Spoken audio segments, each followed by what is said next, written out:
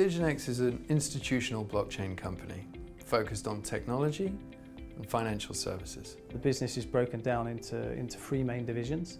Uh, the first one being uh, blockchain infrastructure, which is our data centers that contain GPUs and also uh, high performance computing.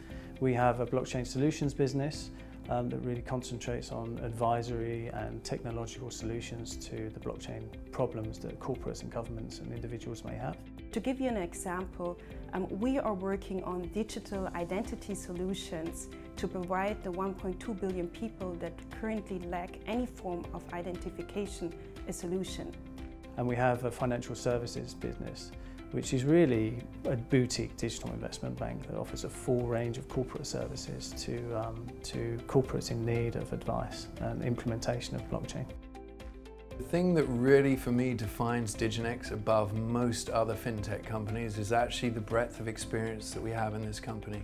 We have the full spectrum of people from the very extreme sort of financial services professionals, people from the consultancy world, the academic world, the technology world, and what's really amazing about Diginex and the way that we draw that whole community together is actually through purpose-led projects.